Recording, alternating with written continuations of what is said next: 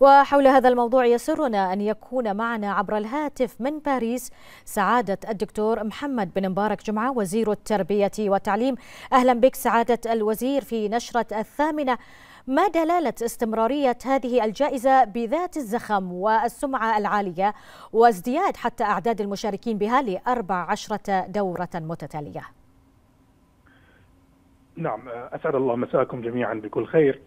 واسمحي لي في البداية طبعا أن أرفع للمقام السامي لسيدي حضرة صاحب الجلاله الملك حمد بن عيسى ال خليفه ملك البلاد المعظم وسيدي صاحب السمو الملكي الأمير سلمان بن حمد ال خليفه ولي العهد رئيس مجلس الوزراء اسمى آيات التهاني والتبريكات بمناسبة نجاح الحفل الختامي لجائزة اليونسكو الملك حمد بن عيسى ال خليفه لاستخدام تكنولوجيا المعلومات والاتصال في التعليم والذي أقيم اليوم طبعا بمقر منظمة الأمم المتحدة للتربية والعلم والثقافة اليونسكو في باريس.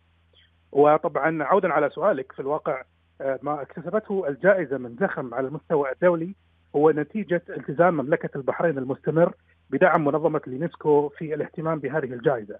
ولا ننسى طبعا الاشتراطات المتطورة وطبعا العميقة التي تتطلبها الجائزة في من يرغبون في المشاركة فيها فضلا عن وجود لجنة تحكيم دولية مستقلة تقوم بتحكيم الأعمال بكل تفرد وبكل شفافية وفي النهاية طبعا يكون الاختيار للأعمال الرائدة والمتميزة من بقية جميع الأعمال.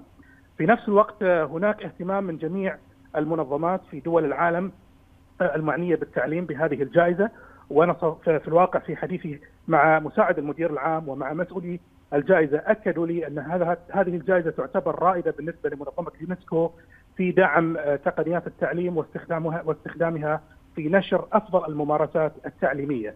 وهناك طبعا حرص على استمرارية هذه الجائزة بحيث يتم تطويرها وتمتد إلى أبعاد أوسع وأكثر طبعا في مختلف المناحي. طبعا السمعة الكبيرة التي تميزت بها هذه الجائزة تنعكس أيضا على مدى اهتمام مملكة البحرين بالعملية التعليمية ودعمها لانظمه طبعا ومشاريع وبرامج اليونسكو فيما يتصل بتطوير التعليم وبحصول جميع المواطنين في جميع أنحاء العالم على التعليم الجيد وخصوصا طبعا وصول التعليم للأطفال وإلى جميع المناطق المحرومه وغير ذلك من المشاريع الإنسانية المعنية بالتعليم. نعم سعادة الوزير كما ذكرتم أن في الأعوام السابقة فازت مشاريع من مختلف دول العالم وكما شهدنا هذا العام فاز مشروعان من إيرلندا ومن الصين كيف حافظت هذه الجائزة على عالميتها؟ طبعا أود في البداية أن أوضح أن المشروعان الفائزان من أيرلندا والصين هما مشروعان رائدان يوفران مدخلا إلى التعليم من خلال منصات تكنولوجية وتقنية تتيح التعليم لجميع طبعا سكان الأرض.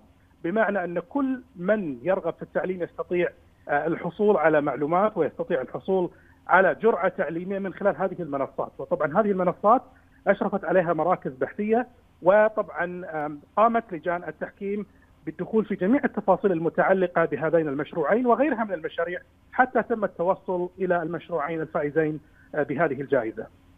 وبالتالي فإن مشاركة دول مثل الصين ومثل إيرلندا في جائزة اليونسكو الملك حمد بن عيسى ال خليفه لاستخدام تكنولوجيا المعلومات والاتصال في التعليم في هذه الجائزة يبين في نفس الوقت العالمية التي وصلت إليها.